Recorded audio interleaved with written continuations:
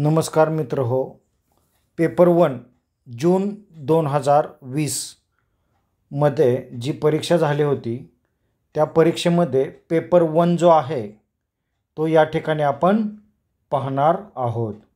तर एक लक्षात घ्या की टोटली वेळ जो असतो आहे तो साठ मिनिट म्हणजे एक तास वेळ या ठिकाणी दिलेला असतो आहे या ठिकाणी पहा एक तास दिलेला आहे. म्हणजे किती साठ मिनटाची परीक्षा आहे? जून दोन हजार वीसची ही परीक्षा आहे.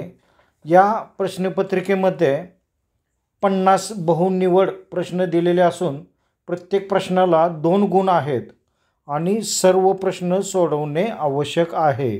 म्हणजे पन्नास प्रश्न टोटले आहेत आणि एकूण मार्क किती आहेत? शंभर मार्काचा हा पूर्ण पेपर आहे.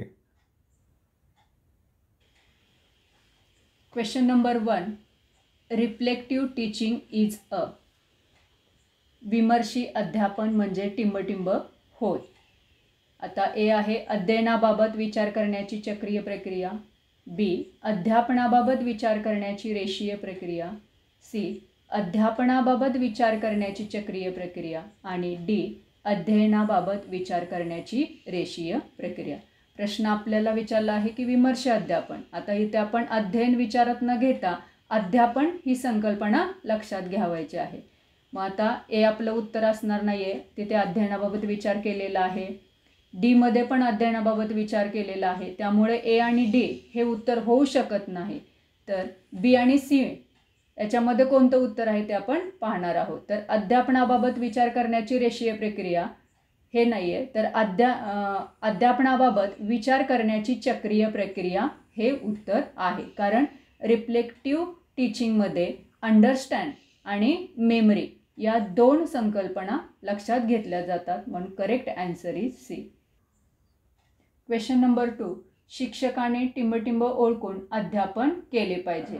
ए विद्यार्थ्याची आर्थिक स्थिती. हे उत्तर नाही कारण विद्यार्थ्याची आर्थिक स्थिती लक्षात घेऊन अध्यापन केलं जात नाही. सी पालकांची आर्थिक स्थिती हे पण नाही आहे त्यानंतर पालकामधील व्यक्तिभेद हेही उत्तर होऊ शकत नाही. तर शिक्षकाने विद्यार्थ्यामधील व्यक्तिभेद ओळखून अध्यापन केले पाहिजे.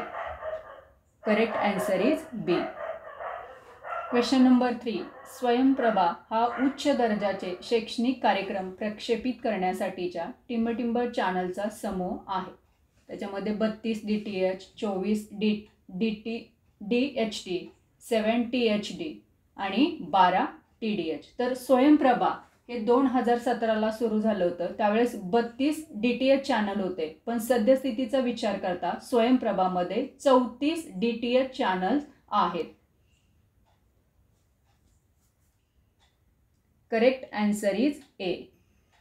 Question number four अध्यापनाच्या पारंपरिक सहाय्यभूत प्रणालीमध्ये टिंबटिंबचा समावेश होतो. आता पारंपरिक सहाय्यभूत प्रणाली म्हणलं की ट्रॅडिशनल टीचिंग सपोर्ट आणि आधुनिक आणि पारंपरिक याच्यामध्ये फरक आहे. तर आधुनिकचा विचार करता व्हाईट बोर्ड स्मार्ट बोर्ड आणि डिजिटल बोर्ड हे काय आहेत? सहाय्यभूत प्रणाली आहेत. पण पारंपरिक सहाय्यभूत प्रणालीमध्ये थ्री डायमेन्शनल मॉडेल्स म्हणजेच त्रिमितीय प्रतिकृतीचा समावेश होतो. Correct answer is D question number five शिक्षक विद्यार्थ्यांच्या वह्या तपासतात आणि शेरे देतात याला टिंबटिंब म्हणतात. नोंदवही तपासणे. नाही. दैनंदिन शेरे देणे. नाही. मूल्यांकन करणे. नाही. तर शिक्षक विद्यार्थ्यांच्या ज्यावेळेस वया तपासत असतात आणि शेरे देत असतात त्यावेळे त्यावेळेस विद्यार्थ्यांचं मूल्यमापन करत असतात. म्हणून correct answer is C question number six सॉक्रेटिसने सत्यशोधनाची टिंबटिंब पद्धती दिली. आता सॉक्रेटिस म्हटलं की लगेच काय करायचं? संवाद लक्षात घ्यायचं. म्हण म्हणजेच सॉक्रेटिसने सत्यशोधनाची संवाद ही पद्धती दिली आहे. करेक्ट ॲन्सर इज डी म्हणजे प्रायोगिक नाही निरीक्षण नाही चिकित्सा नाही तर संवाद ही पद्धती दिलेली आहे. क्वेश्चन नंबर सेवन प्रायोगिक संशोधनाचा हेतू टिंबटिंब हा असतो. प्रायोगिक संशोधन म्हटलं की कार्यकारण संबंध लक्षात घेतला जातो. ए चलामधील संबंध प्रस्थापित करणे. बी चलांचे वर्णन करणे. डी प्रघात विश्लेषणाचा अभ्यास करणे हे नाही होत. तर प्रायोगिक संशोधनाचा हेतू जर आपल्याला पर्पज लक्षात घ्यायचा असेल तर सिद्धांताच्या उपयोजनाचा अभ्यास करणे हे करेक्ट ॲन्सर आहे. Question number eight limitations let down by the researcher are call as dash dash संशोधकाने घालून घेतलेल्या मर्यादांना टिंबटिंब असे म्हणतात. आता इथं प्रश्नामध्येच आपल्याला काय मिळणार आहे? उत्तरे मिळणार आहे. तर ऑब्जेक्टिव्ज गृहितके परिकल्पना ह्या काय होऊ शकत नाही. उद्दिष्ट कशातून निर्माण होतात? तर समस्येमधून उद्दिष्ट निर्माण होत असतात. म्हणून उद्दिष्ट हे नाही आहेत गृहितके परिकल्पना नाही आहेत तर limitations let down by the researcher are call as delimitations correct answer is B question number nine for any frequency distribution fifteen percentile and dash dash are said. कोणत्याही वारंवारिता वितरणासाठी पन्नासावे शततमक आणि टिंबटिंब सारखेच असते. आता इथं मध्यमान होऊ शकत नाही चतुर्थक विचलन नाही प्रमाण विचलन नाही तर पन्नासावे शततमक म्हणजेच मध्यांक मध्यांकासारखेच असते. Correct answer is B. Question number ten a researcher uses data of an earlier research paper and publishes a new research paper. This is dash. तर प्रश्न असा आहे दहावा की एक संशोधक पूर्वीच्या संशोधन लेखातील माहिती वापरून नवीन संशोधन लेख लिहितो तर हे योग्य आहे का नैतिक आहे का किंवा ते मान्य आहे का तर एक लक्षात घ्या की पूर्वीच्या संशोधनाचा लेखाचा वापर करून सेम टू सेम जर नवीन संशोधन लेख लिहित असेल तर हे चुकीचं आहे. हे अनैतिक आहे. म्हणजेच अनइथिकल आहे. म्हणजे हे ने नैतिक नाही. म्हणजे ह्याचं करेक्ट उत्तर आहे अनैतिक किंवा अनइथिकल असं याला म्हटलं जातं. Question number eleven to fifteen पुढे दिलेल्या उतार्यावर आधारित आहेत. इंग्रजीतील किंवा मराठीतील उतार्यावरील प्रश्नांची उत्तरे द्या. उतारा असा आहे मानवी जीवनातील एकाकीपणाचे मूळ त्याला मानवी सृष्टीने दिलेल्या मूलभूत समस्येत आहे. माणूस निसर्गसृष्टीतून आणि प्राणीसृष्टीतून मानवी सृष्टीत येत असताना तो अनेक गोष्टी गमावून बसलेला आहे. तो माणूस होण्यापूर्वी त्याचे निसर्गाशी जे संतुलित आणि सुरक्षित नाते होते ते मानवी सृष्टीने तोडून टाकले. मानवी सृष्टीत वावरताना निसर्गाशी नवे नाते कसे प्रस्थापित करावयाचे हा मानवजातीपुढील एक महत्त्वाचा प्रश्न आहे. आजचे मानवी जीवन दोन अठळ गोष्टींनी कसून बांधलेले आहे. मानवी जीवन कितीही दुसह कष्टमय आणि असुरक्षित असले तरी आज माणूस मानवी सृष्टीकडून पुन्हा प्राणीसृष्टीकडे परत फिरू शकत नाही. फिरणे म्हणजे मानसिक आणि बौद्धिकदृष्ट्या मृत्यू पत्करणे असते. याची त्याला जाणीव आहे. परंतु खरे मानवी अस्तित्व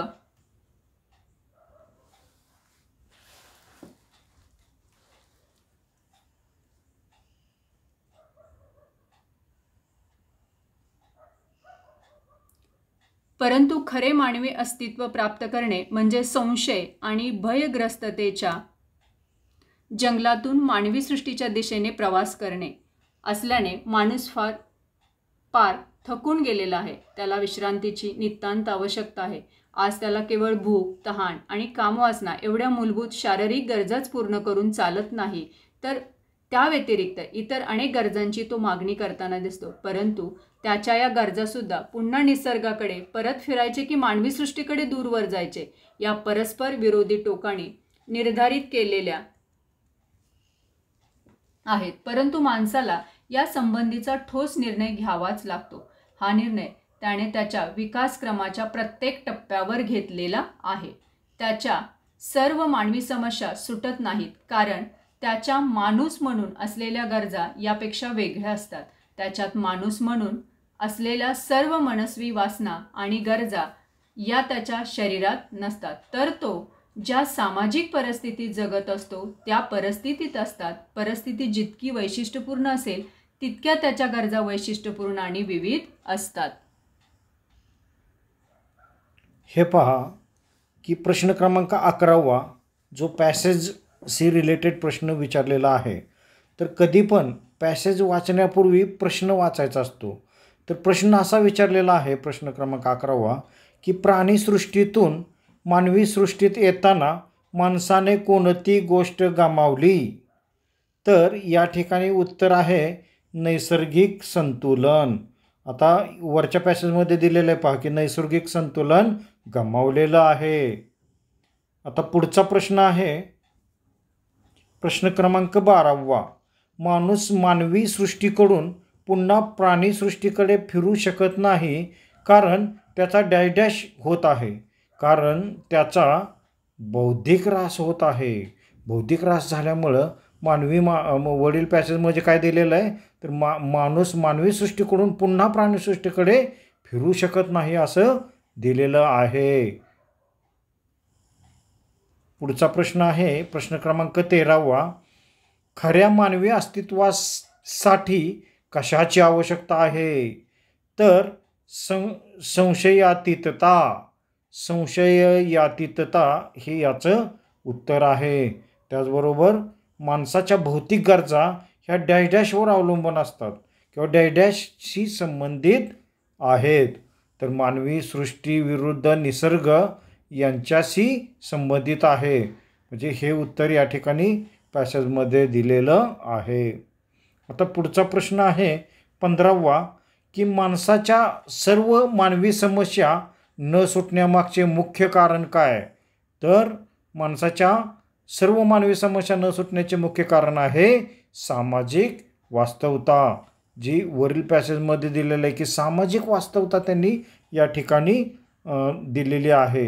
म्हणजे पुढचा म्हणजे अशा प्रकारे पॅसेजची उत्तरं जेव्हा आपण लिहिणार आहोत तेव्हा पहिल्यांदा प्रश्न वाचायचा आणि नंतर वरच्या पॅसेजमध्ये जाऊन उत्तर शोधायचं आहे. क्वेश्चन नंबर सिक्स्टीन संप्रेषणाची व्याख्या करताना मिलर टिंबटिंबवर भर देतात. तर संदेशावर भर देत नाहीत अवबोधावर भर देत नाहीत प्रेषकावर भर देत नाहीत. तर संप्रेषणाची व्याख्या करताना मिलर ग्राहकाच्या वर्तन बदलावर भर देत असतात.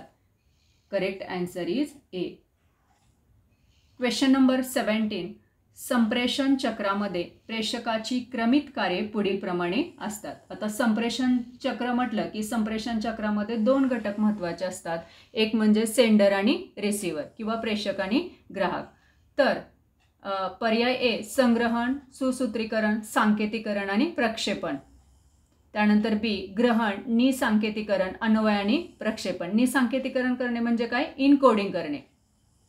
हे उत्तर होऊ शकत नाही. त्यानंतर ग्रहण सुसूत्रीकरण निसांकेतीकरण आणि प्रक्षेपण हेही उत्तर होऊ शकत नाही.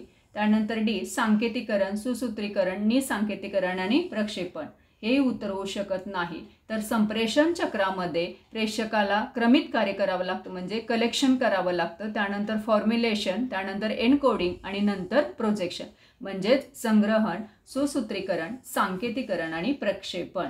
अशा क्रमित कार्य करावं लागतं. Correct answer is A question number eighteen संप्रेषण चक्राचे प्रेषक संदेश ग्राहक व टिंबटिंब हे घटक आहेत. आता इथं गोंधळ गोंधळाशी संबंधित नाही आहे त्यानंतर अडथळे हा पण घटक नाही आहे प्रत्याभरण हा त्याच्याशी रिलेटेड आहे. पण संप्रेषण चक्रामध्ये प्रेषक संदेश ग्राहक या सर्व घटकामध्ये जर समन्वय साधायचा असेल तर मीडिया किंवा माध्यम. हा घटक खूप महत्त्वाचा आहे. म्हणजे करेक्ट अँसर इज बी प्रश्न क्रमांक एकोणीस. या ठिकाणी दिलेला आहे की पुढील पैकी कोणते संप्रेषण हे सहभागी सदस्यांच्या संख्येवर आधारित असते? हे पहा. प्रश्नाचे ॲनालिसिस ज्याला जमते तो सेट परीक्षा पास होतो. म्हणजे काय? तर प्रश्नामध्येच उत्तर लपलेलं असतंय पहा की कोणते संप्रेषण हे सहभागी सदस्यांच्या संख्येवर आधारित असते?